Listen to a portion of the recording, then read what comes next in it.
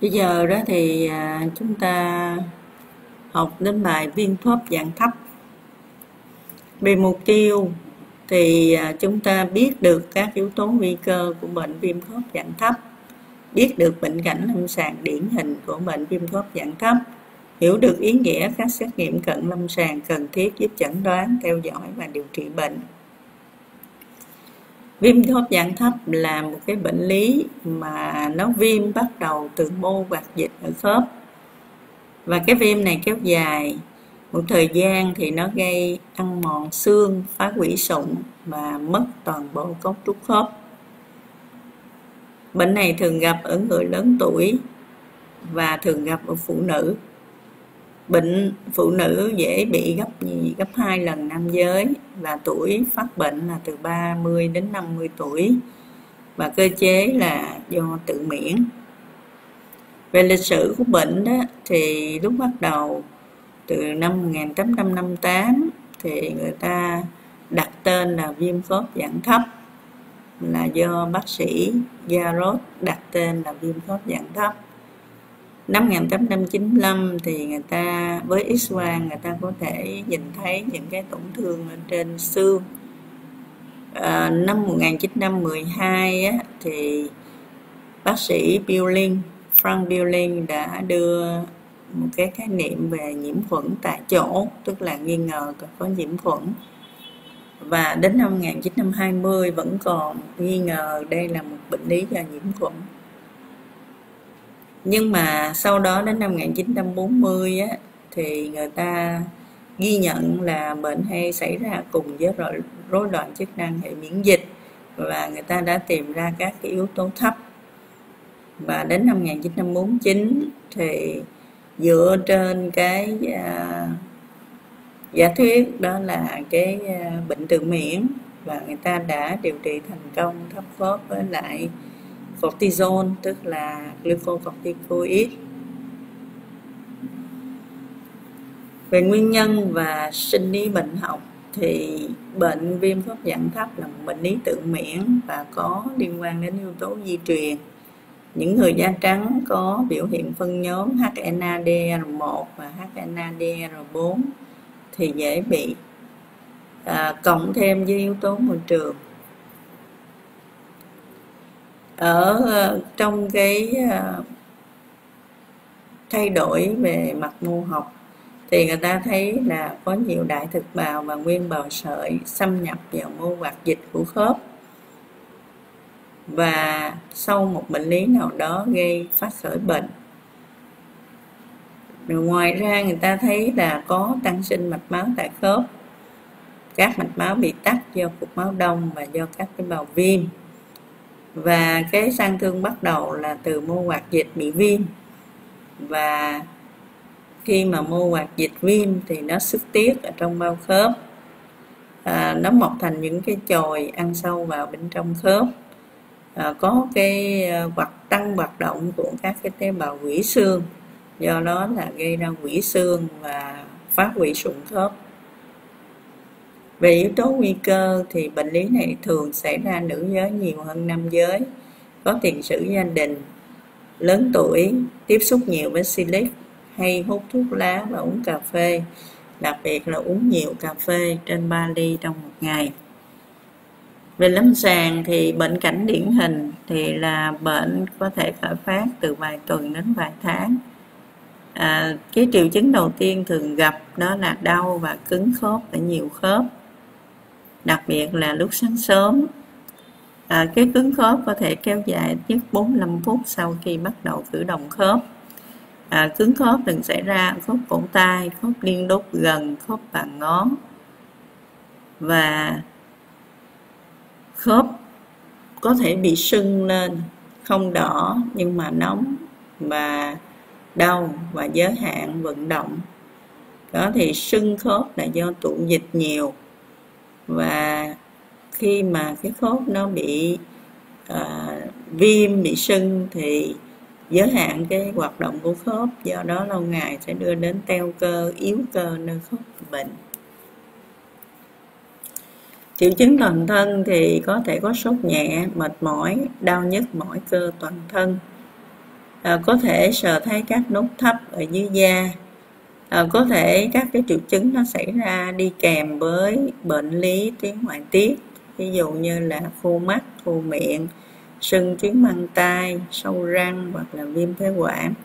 Thì cái lúc đó đó người ta gọi cái đó là hội chứng Sjogren hoặc là đi cùng với lách to hay là giảm bạch cầu hẹp thì gọi là hội chứng Felty à, và do là bệnh nhân đau khớp do đó là giới hạn vận động vì vậy cho nên là bệnh nhân hay bị rối loạn giấc ngủ và có thể đưa đến trầm cảm.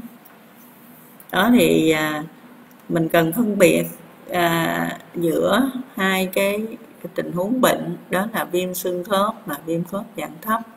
Thì đây là một cái khớp hoạt dịch thì mình thí dụ như đây là khớp gối thì đây là đầu dưới của xương đùi và đầu trên của xương chày. Và chúng ta có cái bao hoạt dịch. Đó thì trong viêm xương khớp á, thì chỉ là viêm xương viêm khớp và viêm xương.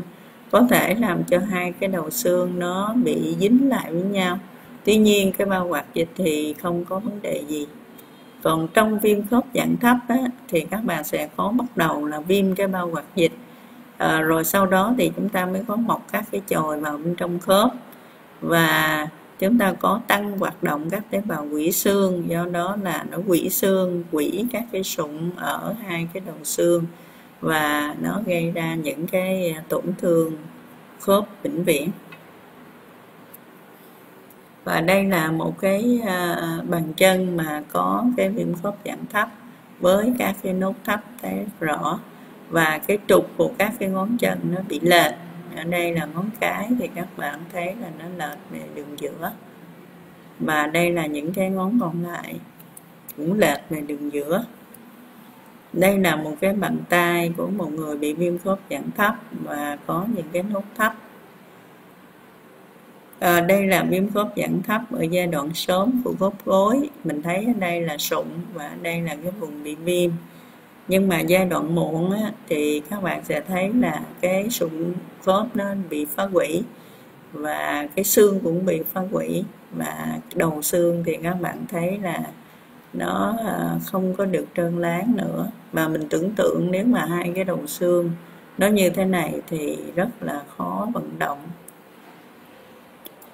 À, để chẩn đoán xác định thì chúng ta phải làm xét nghiệm cận lâm sàng theo phân hội thấp học của các trường đại học Mỹ về viêm khớp dạng thấp thì chúng ta cần làm những xét nghiệm như sau. Viết đồ để chúng ta xem thì chúng ta sẽ có thể thấy thiếu máu nhẹ bạch cầu tăng và tiểu cầu tăng.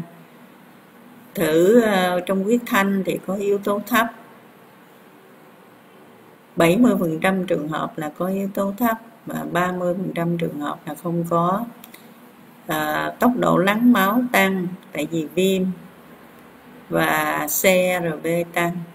Ngoài ra thì chúng ta có những cái kháng thể đặc điểm riêng của bệnh lý viêm khớp dạng thấp.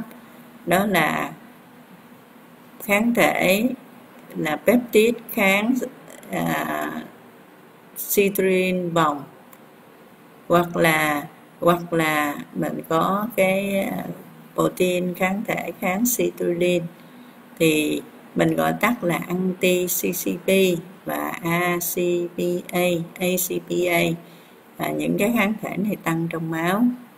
Xét nghiệm dịch khớp, mình chọc lấy dịch khớp thì mình thấy là dịch khớp màu vàng rơm có thể đông ở nhiệt độ phòng. Và có nhiều bạch cầu, có thể có từ 5 đến 25 ngàn bạch cầu trong mm khối ít glucose mà không có vi khuẩn. Về à, chụp x quang tức là chẩn đoán hình ảnh thì mình có thể thấy cái khớp bình thường hoặc là giảm mật độ xương hoặc là mòn mặt khớp. Thậm chí có thể hai cái đầu xương có thể dính lại với nhau. À, chúng ta cũng phải làm xét nghiệm chức năng thận và xét nghiệm chức năng gan. Đây là hình ảnh ở cái à, cái khớp nó bị hẹp giảm mật độ xương ở chung quanh khớp và khớp bị xói mòn. Đây cũng vậy. À, về chẩn đoán thì chúng ta có cái à, tiêu chuẩn là dựa trên cái tổn thương khớp mình ta cho điểm. Ví dụ như một khớp lớn thì không điểm từ 2 đến 10 khớp lớn thì một điểm. 1 đến 3 khớp nhỏ là 2 điểm. 4 đến 10 khớp nhỏ là 3 điểm. Trên 10 khớp là 5 điểm về quyết thanh chẩn đoán thì có yếu tố thấp. À, không có yếu tố thấp hay là ACPA là không điểm. Yếu tố thấp dương tính yếu hay là ACPA dương tính yếu là hai điểm. Yếu tố thấp dương tính mạnh hay là ACPA dương tính mạnh là 3 điểm. À, thứ ba là dựa vào giai đoạn cấp của bệnh. Thì mình dựa vào CRP và tốc độ lắng máu. Nếu mình tăng thì là một điểm và thời gian bệnh dưới 6 tuần là không điểm và trên hoặc là từ 6 tuần trở lên là một điểm. Mình cộng mấy cái điểm lại thì khi mà điểm trên hoặc là bằng 6 trên 10 thì chúng ta chẩn đoán xác định.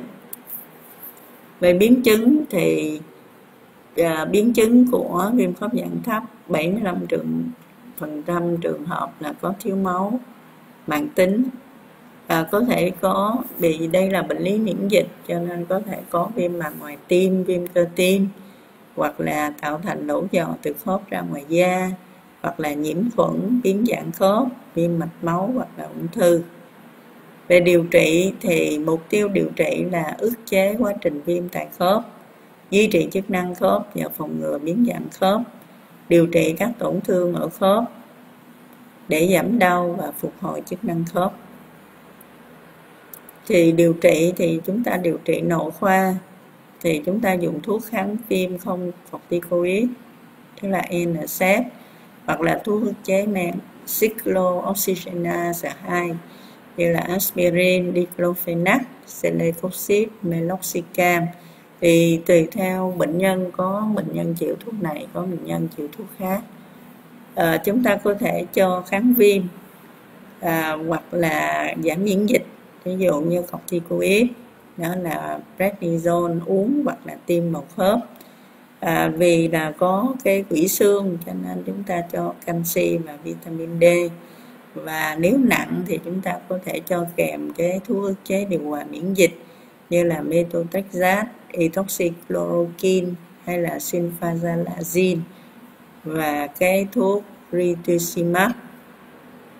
Đây là cái loại thuốc mới à, về điều trị à, triệu chứng tức là bệnh nhân có triệu chứng nào thì điều trị triệu chứng đó.